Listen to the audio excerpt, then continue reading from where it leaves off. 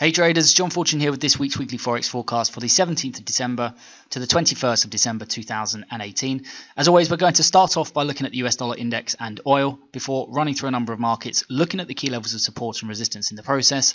I'm also going to be highlighting some of the targets that we're going to be looking for in the coming week. Now, just something to note, we are going into Christmas the week after next. And so this will be the last weekly Forex forecast video of the year. And we'll be back on the 5th of January for our first weekly Forex forecast video of 2019. Looking forward to the new trading year.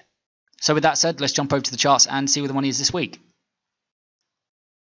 As always, starting with the US dollar index. Now we start the week above key area of broken resistance, turning support at the 97.01 if we can get a pullback and preferably if we can get a retest of the 97.01, this is going to be a great place to start to look for bullish formations and patterns. And we're going to be looking at initiating longs up towards the next key area of resistance, the upside in the target set, the 98.16. And if we can get a break through here, we're going to be looking up towards the next key area of resistance, the upside in target 2, at the 98.69. Now, as we start the week above the key area of broken resistance at the 97.01, we are looking for further advances this week in the US dollar index, and we do go into this week with a bullish bias on the US dollar index.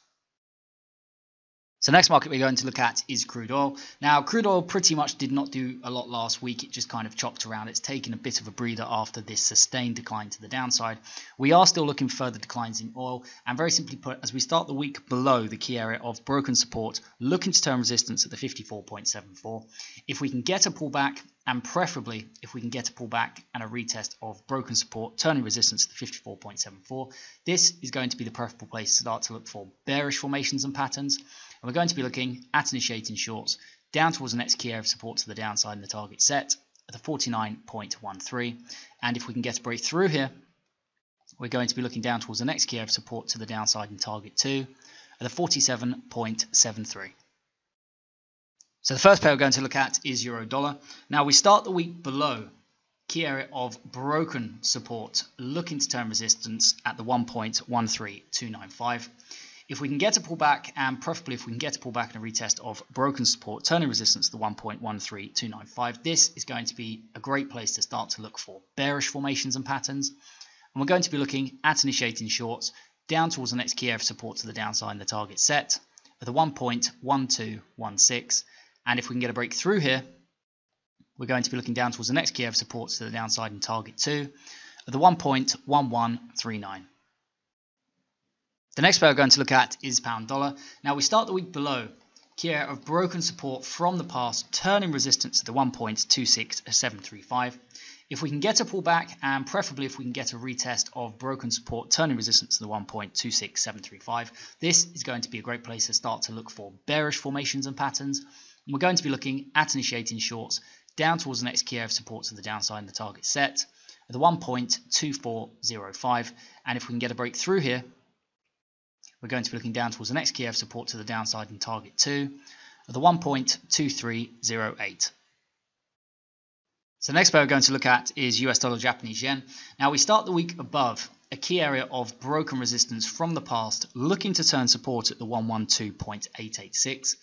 If we can get a pullback, and if we can get a pullback and preferably a retest of broken resistance, turning support at the 112.886. This is going to be a great place to start to look for bullish formations and patterns. And we're going to be looking at initiating longs up towards the next key area resistance to the upside in the target set at the 114.23. And if we can get a break through here, we're going to be looking up towards the next key area resistance to the upside in target 2 at the 114.73. So next pair we're going to look at is Aussie dollar. Now we start the week below a key area of broken support from the past, looking to turn resistance at 0.72022. If we can get a pullback, and preferably if we can get a pullback and a retest of broken support, turning resistance at 0.72022, this is going to be a great place to start to look for bearish formations and patterns. And we're going to be looking at initiating shorts down towards the next key area of support to the downside in the target set, the 0.7128 and if we can get a break through here, we're going to be looking down towards the second target to the downside and the second key area of support to the downside at the 0.7085. So next pair we're going to look at is New Zealand dollar. Now we start the week below a key area of broken support from the past, looking to turn resistance at the 0.68507. If we can get a pullback, and preferably if we can get a pullback and a retest of broken support, turning resistance at 0.68507, this is going to be the preferable place to start to look for bearish formations and patterns. And we're going to be looking at initiating shorts down towards the next key area of support to the downside in the target set at the 0.6690. So next pair we're going to look at is US dollar Swiss franc. Now we start this week above a key area of broken resistance from the past, looking to turn support at the 0.99131. If we can get a pullback, and preferably if we can get a retest of broken resistance turning support at 0.99131, this is going to be the area that will be preferable to start to look for bullish formations and patterns. And we're going to be looking at initiating longs up towards the next key area of resistance, the upside in the target set, the 1.0025. And if we can get a breakthrough here, we're going to be looking up towards the next key of resistance, the upside in target 2, at the 1.0056. So next pair we're going to look at is US dollar CAD. Now we start the week above a key area of broken resistance from the past, looking to turn support at the 1.32909.